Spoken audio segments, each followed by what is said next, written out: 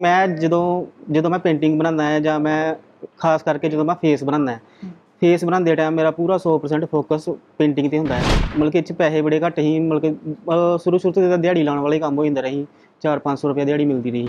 ਉਹਦੇ ਕਰਕੇ ਵੀ ਹੁੰਦਾ ਰਿਹਾ ਜੇ ਥੋੜੇ ਪੜ੍ਹੇ ਲਿਖੇ ਹੁੰਦੇ ਤਾਂ ਫਿਰ ਜ਼ਿਆਦਾ ਸਪੋਰਟ ਹੋਣੀ ਕਿਉਂਕਿ ਅੱਜ ਕੱਲ੍ਹ ਸੋਸ਼ਲ ਮੀਡੀਆ ਤੇ ਵੀ ਸਾਰਾ ਕੁਝ ਪੜ੍ਹਿਆ ਲਿਖਿਆ ਹੀ ਹੋਏ ਤੇ ਫੇਰ ਹੀ ਵਧੀਆ ਚਲਾ ਸਕਦਾ ਹੈ ਨਾ।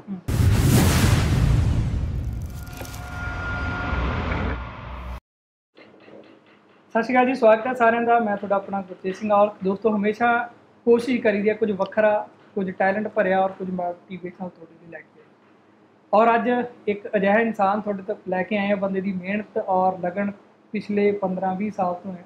ਪਰ ਬੰਦੇ ਦੀ ਹੱਥ ਦੀ ਕਲਾ ਔਰ ਬੰਦੇ ਦਾ ਹੱਥਾਂ ਦਾ ਹੁਨਰ, ਉਹ ਤਸਵੀਰ ਪਿੱਛੇ ਤੁਸੀਂ ਆਪ ਦੇਖ ਸਕਦੇ ਹੋ ਵੀ ਤਸਵੀਰ ਇਸ ਤਰ੍ਹਾਂ ਜਿਹੜਾ ਉਲੀਕਦਾ ਹੈ, ਇਸ ਤਰ੍ਹਾਂ ਉਹਦੇ ਉੱਪਰ ਤਰਾਜ਼ਗੀ ਕਰਦਾ ਹੈ, ਇਸ ਤਰ੍ਹਾਂ ਮਿਹਨਤ ਕਰਦਾ ਹੈ। ਦਿਲੋਂ ਔਰ ਇਮਾਨਦਾਰੀ ਦੇ ਨਾਲ ਜਿਹੜੀ ਆ ਉਹ ਤਸਵੀਰ ਤਿਆਰ ਕਰਦਾ ਹੈ।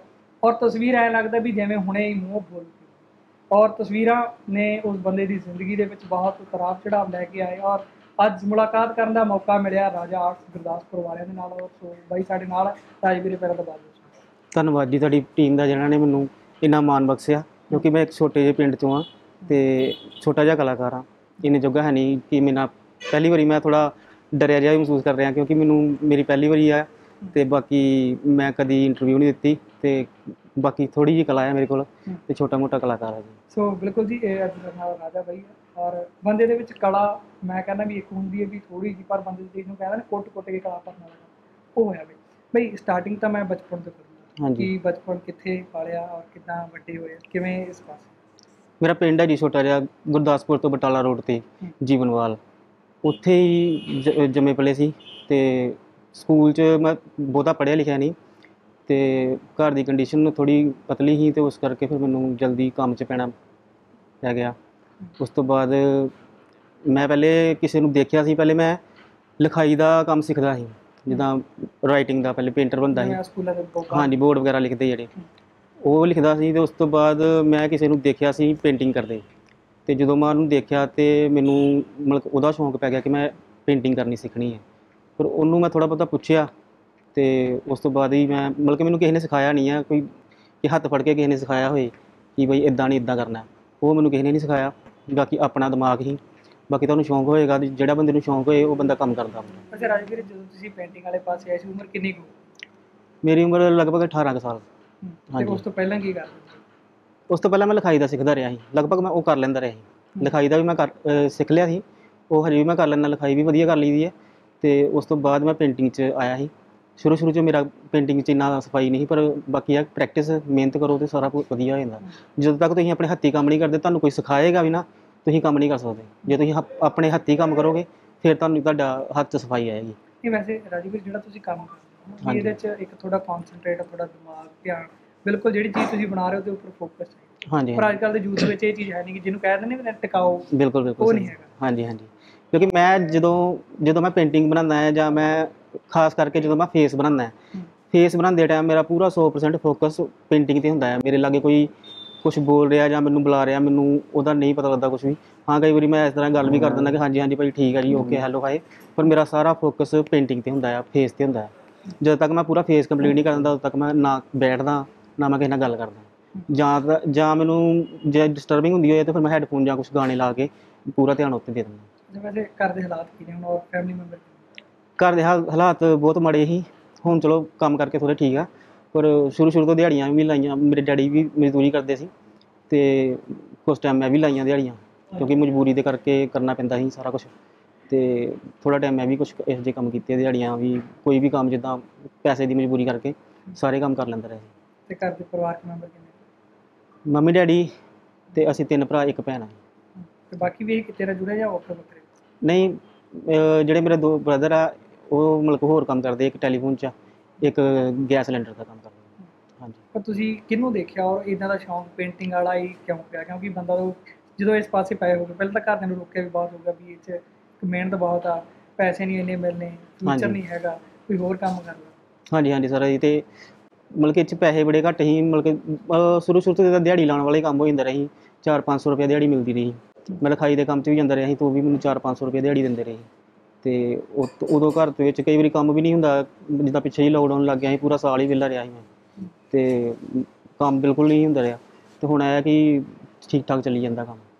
ਹਾਂਜੀ। ਤੇ ਵੈਸੇ ਰਾਜੂ ਵੀਰੇ ਜਦੋਂ ਸਟਾਰਟਿੰਗ ਤੁਸੀਂ ਇਸ ਪਾਸੇ ਆਏ ਸੀ ਘਰ ਦੇ ਅੰਦਰ ਤਾਨੇ ਮਿਹਣੇ ਕੀ ਸੀ? ਰਿਸ਼ਤੇਦਾਰਾਂ ਦੇ ਕੀ ਸੀ ਸਾਰੇ ਮਤਲਬ ਇਹ ਕੰਮ ਇਹੋ ਜਿਹਾ ਹੈ ਕਿ ਉਹਨਾਂ ਨੂੰ ਲੱਗਦਾ ਹੀ ਨਹੀਂ ਕਿ ਮਤਲਬ ਜਿੱਦਾਂ ਹੁਣ ਸੋਸ਼ਲ ਮੀਡੀਆ ਤੇ ਆ ਕੇ ਥੋੜਾ ਹਨਾ ਮਤਲਬ ਸਪੋਰਟ ਮਿਲਣ ਲੱਗ ਪਈ। ਤੇ ਸ਼ੁਰੂ ਸ਼ੁਰੂ ਤੋਂ ਉਹਨਾਂ ਨੂੰ ਪਤਾ ਹੀ ਨਹੀਂ ਹੈ ਕਈ ਵਾਰੀ ਮੈਂ ਫੋਨ 'ਚ ਵੀਡੀਓ ਅਪਲੋਡ ਕਰਦਾ ਰਹਿਣਾ ਸਾਰਾ ਸਾਰਾ ਦਿਨ ਕਿ ਯਾਰ ਕਿਸ ਤਰ੍ਹਾਂ ਦੀ ਵੀਡੀਓ ਬਣਾਈ ਹੈ ਹਨਾ ਟਾਈਮ ਤੇ ਲੱਗ ਹੀ ਜਾਂਦਾ। ਤੇ ਘਰ ਦੇ ਰਹਿੰਦੇ ਸੀ, ਤੂੰ ਫੋਨ 'ਚ ਹੀ ਵੜਿਆ ਰਹਿਣਾ ਹੈ ਤੈਨੂੰ ਕੋਈ ਕੰਮ ਹੈ ਨਹੀਂ ਆ ਬਾਹਰ ਨਿਕਲੇਗਾ ਫਿਰ ਕੰਮ ਮਿਲੇਗਾ। ਤੇ ਅੱਜ ਕੱਲ੍ਹ ਤਾਂ ਤੁਹਾਨੂੰ ਪਤਾ ਜ਼ਿਆਦਾ ਕੰਮ ਸੋਸ਼ਲ ਮੀਡੀਆ ਤੇ ਹੀ ਹੈ ਨਾ। ਹਾਂਜੀ ਹਾਂਜੀ। ਤੇ ਬੜੀਆਂ ਘਰੋਂ ਵੀ ਗਾਲਾਂ ਪੈਂਦੀ ਰਹੀ ਕਿ ਤੂੰ ਸਾਰਾ ਦਿਨ ਫੋਨ ਫੜ ਕੇ ਫੋਨ 'ਚ ਹੀ ਲੱਗਾ ਰਹਿਣਾ। ਤੇ ਵੀਡੀਓ ਬਣਾਉਂਦਾ ਰਹਿਣਾ ਤੈਨੂੰ ਵੀਡੀਓ ਬਣਾ ਕੇ ਕੀ ਮਿਲਣਾ ਆ ਜਾਂ ਤੂੰ ਕਿੱਥੇ ਪਾਏਗਾ ਕਿਹਨੂੰ ਦਿਖਾਏਗਾ।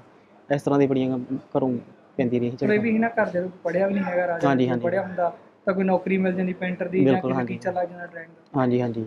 ਉਹਦੇ ਕਰਕੇ ਵੀ ਹੁੰਦਾ ਰਿਹਾ ਸੀ ਜੇ ਥੋੜੇ ਪੜ੍ਹੇ ਲਿਖੇ ਹੁੰਦੇ ਤਾਂ ਫਿਰ ਜ਼ਿਆਦਾ ਸਪੋਰਟ ਹੋਣੀ ਕਿਉਂਕਿ ਅੱਜ ਕੱਲ੍ਹ ਸੋਸ਼ਲ ਮੀਡੀਆ ਤੇ ਵੀ ਸਾਰਾ ਕੁਝ ਪੜ੍ਹਿਆ ਲਿਖਿਆ ਹੀ ਹੋਏ ਤੇ ਫੇਰ ਹੀ ਵਧੀਆ ਚਲਾ ਸਕਦਾ ਹੈ ਨਾ? ਹੂੰ।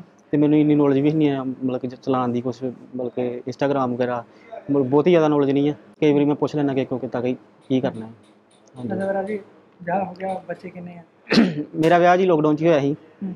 ਤੇ ਇੱਕ ਬੱਚ- ਬੇਟੀ ਹੈ ਮੇਰੀ ਡੇਢ ਕੁ ਸਾਲ ਦੀ। ਹਾਂਜੀ। ਅੱਛਾ ਵਾਈਫ ਨੂੰ ਪਸੰਦ ਹੈ ਹੁਨਰ ਹਾਂਜੀ ਵਾਈਫ ਨੂੰ ਪਸੰਦ ਹੈ। ਅੱਛਾ ਫਿਰ ਉਹਨਾਂ ਨੇ ਇਹ ਵੀ ਕਿਹਾ ਹੋਗਾ ਮੇਰੀ ਵੀ ਫੋਟੋ ਬਣਾ ਕੇ ਬਤਾ ਉਹਨਾਂ ਦਾ ਟਾਈਮ ਹੀ ਨਹੀਂ ਲੱਗਦਾ ਮੇਰਾ ਕਿ ਅਜੇ ਤੱਕ ਉਹਨਾਂ ਦੀ ਫੋਟੋ ਬਣਾਉਂਦਾ। ਮੇਰਾ ਵੀ ਦਿਲ ਕਰਦਾ ਕਿ ਫੈਮਿਲੀ ਦੀ ਫੋਟੋ ਬਣਾਵਾਂ ਪਰ ਮੇਰਾ ਟਾਈਮ ਹੀ ਨਹੀਂ ਲੱਗਦਾ ਫੋਟੋ ਬਣਾਉਣ ਦਾ। ਅੱਛਾ ਵੈਸੇ ਰਾਜੂ ਵੀਰੇ ਕੰਮ ਕਰਦੇ ਨੂੰ 15 ਸਾਲ ਹੋ ਗਏ। ਹਾਂਜੀ। ਪਰ ਹੁਣ ਬੁੱਕਤ ਆ ਕੇ ਪਈ 15 ਸਾਲਾਂ ਬਾਅਦ। ਹਾਂਜੀ। ਉਹ ਪਿਛਲਾ ਜੋ ਸੰਘਰਸ਼ ਬੀਤਿਆ ਪਰ ਜੇ ਹੁਣ ਦੀ ਗੱਲ ਕਰੀਏ ਹੁਣ ਔਰ ਉਹ ਪਿਛਲਾ ਸਮਾਂ ਕਿਵੇਂ?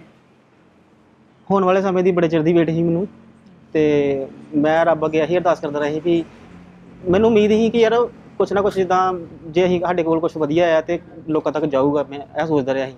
ਪਰ ਰੱਬ ਅੱਗੇ ਅਸੀਂ ਚਲੋ ਕੋਈ ਨਾ ਜਿੰਨੀ ਦੇਰ ਤੱਕ ਰੱਬ ਨਾ ਚਾਵੇ ਤੇ ਕੁਛ ਨੂੰ ਕੁਛ ਨਹੀਂ ਮਿਲਦਾ। ਟਾਈਮ ਆਏਗਾ ਤੇ ਫਿਰ ਮਿਲੇਗਾ। ਮੈਨੂੰ ਲੱਗਦਾ ਸ਼ਾਇਦ ਉਹ ਟਾਈਮ ਆ ਗਿਆ। ਸੋ ਬਿਲਕੁਲ ਬਈ ਜੇ ਸਿੱਧੂ ਬਾਈ ਦੁਨੀਆ ਤੋਂ ਚਲੇ ਗਿਆ ਪਰ ਤੁਹਾਨੂੰ ਕੰਮ ਹੀ ਲਾ ਤੁਹਾਨੂੰ ਮਿਹਨਤ ਲਾ ਬਿਲਕੁਲ। ਹੁਣ ਵੱਧ ਤੋਂ ਵੱਧ ਮੈਂ ਕਹਿੰਦਾ ਜਿੰਨੇ ਵੀ ਹੋਣਗੇ ਸਿੱਧੂ ਮੂਸੇਵਾਲੇ ਦੇ ਪੋਰਟਰੇਟ ਕੱਢ ਦਵਾ ਹਾਂਜੀ ਮੇਰੇ ਕੋਲ ਇਸ ਟਾਈਮ 25 30 ਆਰਡਰ ਬੁੱਕ ਹੈ ਤੇ ਬਾਕੀ ਹੋਰ ਵੀ ਆਰਡਰ ਮਿਲਦੇ ਕਿਉਂਕਿ ਕੰਮ ਦੇਖ ਕੇ ਲੋਕੀ ਹੋਰ ਵੀ ਸੋਚਦੇ ਕਿ ਅਸੀਂ ਆਪਣਾ ਪ੍ਰਿੰਟਿੰਗ ਬਣਵਾਈਏ ਕਿ ਜਿੱਦਾਂ ਫੈਮਿਲੀ ਦੀ ਜਾਂ ਕੁਝ ਹੋਰ 3D ਵਗੈਰਾ ਆਪਣੇ ਹੋਟਲ 'ਚ ਰੈਸਟੋਰੈਂਟ 'ਚ ਹਨਾ। ਪਰ ਉਹਨਾਂ ਨੂੰ ਅਜੇ ਮੈਂ ਟਾਈਮ ਨਹੀਂ ਦਿੰਦਾ ਪਿਆ ਕਿਉਂਕਿ ਮੈਂ ਸੋਚਦਾ ਕਿ ਚਲੋ ਸਿੱਧੂ ਮੂਸੇਵਾਲੇ ਦੀ ਅਜੇ ਮਤਲਬ ਬਣਾਉਣੀ ਹੈ ਜ਼ਿਆਦਾ ਜ਼ਿਆਦਾ ਤੋਂ ਜ਼ਿਆਦਾ ਉਹੀ ਆਰਡਰ ਬੁੱਕ ਕਰਦਾ ਪਿਆ। ਬਾਕੀ ਜਿਹੜੇ ਉਹਨਾਂ ਨੂੰ ਜਾਂ ਮੈਂ ਟਾਈਮ ਦੇ ਦਿੰਦਾ ਜਾਂ ਉਹਨਾਂ ਨੂੰ ਕਹਿ ਦਿੰਦਾ ਤੁਸੀਂ ਹੋਰ ਕਿਕ ਕਰਵਾ ਲਓ ਜੇ ਜਲਦੀ ਹੈ ਤੇ। ਹਾਂਜੀ।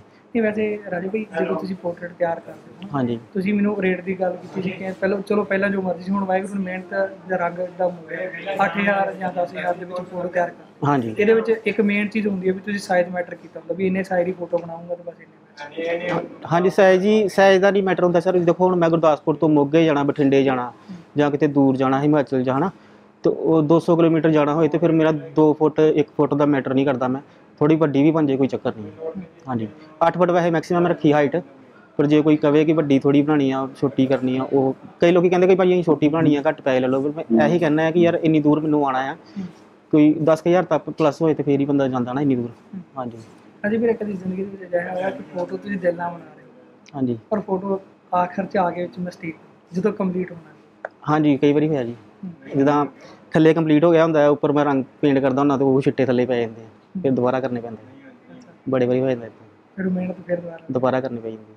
ਸਕੇ ਉਹ ਫਿਰ ਦਿਲ ਨਹੀਂ ਟੁੱਟਦਾ ਯਾਰ ਟੁੱਟਦਾ ਹੀ ਜਾਂਦਾ ਹੈ ਕਈ ਮਤਲਬ ਟਾਈਮ ਲਾ ਕੇ ਬਣਾਈ ਹੁੰਦੀ ਹੈ ਪੇਂਟਿੰਗ ਉਸ ਤੋਂ ਬਾਅਦ ਜਦੋਂ ਛਿੱਟੇ ਪੈ ਜਾਣਾ ਗਲਤੀ ਵੀ ਆਪਣੀ ਹੁੰਦੀ ਹੈ ਕੀ ਕਹਿਣਾ ਹੁੰਦਾ ਫਿਰ ਕਿਸੇ ਨੂੰ। ਕਿਸੇ ਨੂੰ ਗਾਲਾਂ ਕੱਢ ਸਕਦੇ ਹਾਂਜੀ। ਨਾ ਕਿਸੇ ਨੂੰ ਕੁੱਟ ਸਕਦੇ ਹਾਂਜੀ ਕਿ ਹਾਂਜੀ ਮਜਬੂਰੀ ਹੋ ਜਾਂਦੀ ਮਜਬੂਰੀ ਹੋ ਜਾਂਦੀ ਹੈ ਜਾਂ ਰਾਜੀ ਵੀਰੇ ਹੁਣ ਘਰ ਦੇ ਸਰਕਲ ਔਰ ਫਰੈਂਡ ਸਰਕਲ ਦੇ ਵਿੱਚ ਕਿਹਦੀ ਡਿਮਾਂਡ ਜ਼ਿਆਦਾ ਹੁੰਦੀ ਕਿਸ ਚੀਜ਼ ਨੂੰ ਲੈ ਕੇ? ਡਿਮਾਂਡ ਮੈਂ ਅਸਲ 'ਚ ਜਦੋਂ ਦਾ ਮੈਂ ਪੇਂਟਿੰਗ ਬਣਾਉਣ ਲੱਗਾ ਮੈਨੂੰ ਮੈਂ ਮਤਲਬ ਨੋਟਿਸ ਹੀ ਨਹੀਂ ਕਰਦਾ ਕੁਝ ਵੀ ਕਿ ਕੋਈ ਮੇਰੇ ਬਾਰੇ ਕੀ ਸੋਚਦਾ ਪਿਆ ਮੇਰੇ ਬਾਰੇ ਜਾਂ ਮੇਰੇ ਬਾਰੇ ਕੋਈ ਕਿੱਦਾਂ ਦੇ ਵਿਚਾਰ ਰੱਖਦਾ ਹੈ। ਇਸ ਤਰ੍ਹਾਂ ਇਹ ਹੁੰਦਾ ਵਿਹਲੇ ਬੰਦੇ ਦਾ ਕੰਮ ਜਦੋਂ ਕੋਈ ਬੰਦਾ ਵਿਹਲਾ ਹੋਏ ਤੇ ਉਹ ਸੋਚਦਾ ਯਾਰ ਉਹ ਮੇਰੇ ਬਾਰੇ ਕੀ ਸੋਚਦਾ ਹੋਏਗਾ? ਜਦੋਂ ਬੰਦਾ ਬਿਜ਼ੀ ਹੁੰਦਾ ਫਿਰ ਉਹ ਇਹ ਚੀਜ਼ਾਂ ਨਹੀਂ ਸੋਚਦਾ। ਫਿਰ ਸਾਰਾ ਦਿਨ ਆਪਣੇ ਕੰਮ ਤੇ ਫੋਕਸ ਹੁੰਦਾ ਨਾ ਮੈਂ ਕਿਸੇ ਨੂੰ ਮਾੜਾ ਕਹਿਣਾ ਨਾ ਮੈਂ ਕਿਸੇ ਨੂੰ ਚੰਗਾ ਹਨਾ? ਮੈਨੂੰ ਲੱਗਦਾ ਸਾਰੀ ਦੁਨੀਆ ਇਦਾਂ ਹੀ ਆ ਵਧੀਆ ਸਾਰੇ। ਰਾਜੀ ਵੀਰੇ ਕੋਈ ਤੁਹਾਡੀ ਜ਼ਿੰਦਗੀ ਦੇ ਵਿੱਚ ਕੁਝ ਅਜਿਹਾ ਮਾੜਾ ਸਮਾਂ ਆਇਆ? ਹਾਂਜੀ। ਜਿਹੜਾ ਤੁਸੀਂ ਸ਼ੇਅਰ ਕਰਨਾ ਮਾੜੇ ਸਮੇਂ ਹੀ ਪਹਿਲੇ। ਹੁਣ ਠੀਕ ਆ ਪਹਿਲੇ ਤਾਂ ਮਾੜੇ ਹੀ ਸਾਰੇ। ਬਾਕੀ ਲੋਕਡਾਊਨ 'ਚ ਮੈਨੂੰ ਕੁਝ ਯਾਦ ਨਹੀਂ ਆ ਮਤਲਬ ਕਿ ਕੰਮ 'ਚ ਹੀ ਲੱਗੇ ਰਹੀਦਾ ਹੁਣ। ਲੋਕਡਾਊਨ 'ਚ ਹੀ ਜ਼ਿਆਦਾ ਤੇ ਮਾੜਾ ਸਮਾਂ ਲੋਕਡਾਊਨ 'ਚ ਹੀ। ਲੋਕਡਾਊਨ ਵਿੱਚ ਬਹੁਤ ਤੰਗੀ ਨਹੀਂ ਮਤਲਬ ਜਿਵੇਂ ਹੁਣ ਤੁਸੀਂ ਇੰਨੀ ਮਿਹਨਤ ਕਰਦੇ ਹੋ ਜੇ ਕਿਤੇ ਪੜ੍ਹੇ ਲਿਖੇ ਹੁੰਦੇ ਤਾਂ ਹਾਂ। ਉਹ ਅੱਜ ਉਹ ਲੈਵਲ ਜਿਹੜਾ ਇੱਥੇ ਆ, ਉਹ ਥੋੜਾ ਜਿਹਾ ਬਹੁਤ ਹਾਂਜੀ ਹਾਂਜੀ। ਇਹ ਚੀਜ਼- ਪੜ੍ਹੇ ਲਿਖੇ ਹੁੰਦੇ ਫਿਰ ਥੋੜਾ ਗੱਲਬਾਤ ਦਾ ਕਰਨ ਦਾ ਵੀ ਤਰੀਕਾ ਵਧੀਆ ਹੋ ਜਾਂਦਾ ਹਨ। ਇਹ ਸਾਰਾ ਮੈਂ ਕਹਿੰਦਾ ਪੜਿਆ ਪੜ੍ਹਨਾ ਲਿਖਣਾ ਚਾਹੀਦਾ ਸਭ ਤੋਂ ਪਹਿਲੇ ਕਿਉਂਕਿ ਜੇ ਅੱਜ ਮੈਂ ਵਧੀਆ ਪੇਂਟਿੰਗ ਬਣਾ ਲੈਣਾ ਆ ਤੇ ਵਧੀਆ ਕਲਾਕਾਰੀ ਹੈਗੀ ਆ ਪਰ ਜੇ ਮੇਰੇ ਕੋਲ ਮੈਂ ਪੜਿਆ ਲਿਖਿਆ ਹੁੰਦਾ ਤੇ ਮੈਂ ਥੋੜਾ ਹੋਰ ਉੱਤੇ ਹੋਣਾ ਸੀ। ਥੋੜਾ ਨੌਕਰੀ ਨੌਲੇਜ ਵੀ ਹਾਂ ਨੌਲੇਜ ਵੀ ਵਧੀਆ ਹੋਣੀ ਹੈ ਮੇਰੀ ਬਸ ਇਹ ਕਈ ਵਾਰੀ ਮੈਨੂੰ ਇੰਗਲਿਸ਼ 'ਚ ਜ਼ਿਆਦਾ ਪ੍ਰੋਬਲਮ ਆਉਂਦੀ ਆ ਹਿੰਦੀ ਵੀ ਪੜ੍ਹ ਲਈ ਦੀ ਪੰਜਾਬੀ ਵੀ ਇੰਗਲਿਸ਼ 'ਚ ਥੋੜੀ ਪ੍ਰੋਬਲਮ ਆਉਂਦੀ।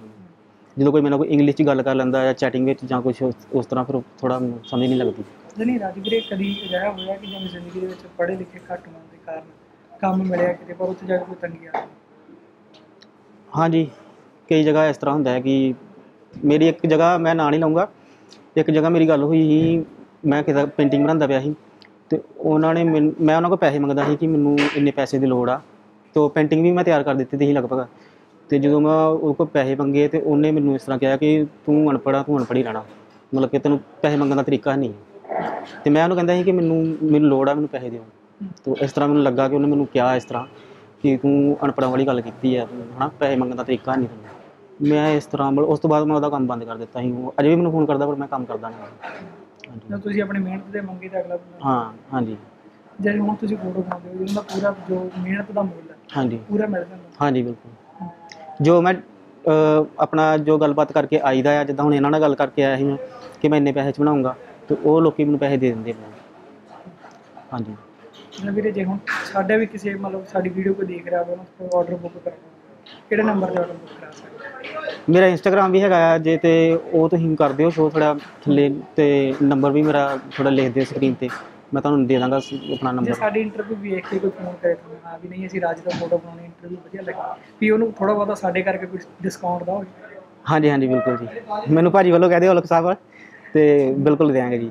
ਸੋ ਬਿਲਕੁਲ ਜੀ ਰਾਜਵੀਰੇ ਦੇ ਨਾਲ ਅਸੀਂ ਮੁਲਾਕਾਤ ਕਰਵਾਈ ਸੀ, ਕਿਉਂਕਿ ਹਮੇਸ਼ਾ ਆਪਾਂ ਸੋਚਦੇ ਹਾਂ ਕਿ ਯਾਰ ਬੰਦੇ ਦੀ ਸੰਘਰਸ਼ ਕੀ ਹੈ, ਔਰ ਸੰਘਰਸ਼ ਭਰੀ ਕਹਾਣੀ ਤੁਹਾਡੇ ਬਿਲਕੁਲ ਪੇਸ਼ ਕਰਨ ਦੀ ਕੋਸ਼ਿਸ਼ ਕੀਤੀ ਸੀ। ਸੋ ਬੰਦੇ ਨੇ, ਚਲੋ, ਪੜ੍ਹਿਆ ਲਿਖਿਆ ਨਹੀਂ ਹੈਗਾ, ਪਰ ਬੰਦੇ ਦੀ ਹਿੰਮਤ ਔਰ ਜਜ਼ਬਾ ਬੰਦੇ ਦਾ ਤੁਸੀਂ ਆਪ ਦੇਖ ਸਕਦੇ ਹੋ, ਤਸਵੀਰਾਂ ਜਿਹੜੀਆਂ ਉਹ ਐਂ ਲੱਗਦਾ ਵੀ ਜਿਵੇਂ ਹੁਣੇ ਮੂੰਹ ਬੋਲ ਪੈਣਗੇ ਹੋਣਗੇ, ਜਿਵੇਂ ਫੋਟੋ ਐਚਡੀ ਕੀਤੀ ਹੁੰਦੀ ਉਹ ਚੀਜ਼ ਪੂਰੀ ਰੂਬਰੂ ਇਹ ਇਨਸਾਨ ਪੇਸ਼ ਕਰਦਾ ਹੈ। ਪਰ ਬੰਦੇ ਦੀ ਮਿਹਨਤ ਜਿਹੜੀ ਆ 15 20 ਸਾਲ ਦੀ ਜਿਹੜੇ ਤਾਨੇ ਮਿਹਣੇ ਲੋਕਾਂ ਤੋਂ ਸਹਿਣੇ ਔਰ ਘਰ ਦੇ ਹਾਲਾਤਾਂ ਨੇ ਵੀ ਜਿਹੜੇ ਮਾੜੇ ਨਿਕਲਿਆ ਉਹ ਸਾਰੀਆਂ ਕੁਝ ਚੀਜ਼ਾਂ ਬਹੁਤ ਮੈਟਰ ਕਰਦੀਆਂ ਨੇ, ਜੇ ਆਰਟਿਸਟ ਹੈ ਉਹਦੇ ਲਈ ਤੁਹਾਡਾ ਦਿਮਾਗ ਦਾ ਇਕਾਗਰ ਹੋਣਾ ਬਹੁਤ ਸੋ ਕੋਸ਼ਿਸ਼ ਕਰਦੀ ਹੈ ਕੁਝ ਵੱਖਰਾ ਲੈ ਕੇ, ਸੋ ਕੋਸ਼ਿਸ਼ ਕੀਤੀ ਸੀ ਰਾਜੇ ਆਰਟਸ ਗੁਰਦਾਸਪੁਰੇ ਬਾਈ ਨੂੰ ਮਿਲਣ ਸੋ ਬਾਈ, ਜਿਨ੍ਹਾਂ ਨੇ ਫੋਟੋ ਬਣਾਉਣੀ ਹੋਵੇ ਬਾਈ ਦਾ ਸਪੈਸ਼ਲ ਆਰਡਰ ਹੈ ਵੀ ਤੁਸੀਂ ਮੇਰੇ ਨਾਲ ਸੰਪਰਕ ਕਰੋ ਔਰ ਤੁਸੀਂ ਮੇਰਾ ਨਾਮ ਜ਼ਰੂਰ ਲੈ ਤੇ ਮੋਬਾਈਲ ਨੰਬਰ ਤੁਹਾਡੇ ਹੈਗਾ ਜੀ, ਮੇਰਾ ਨਾਮ ਲੈ ਕੇ ਤੁਸੀਂ ਬਾਈ ਦੇ ਕੋਲ ਆਰਡਰ ਕਰਾ ਸਕਦੇ ਤੁਹਾਨੂੰ ਡਿਸਕਾਊਂਟ ਮਿਲੂਗਾ।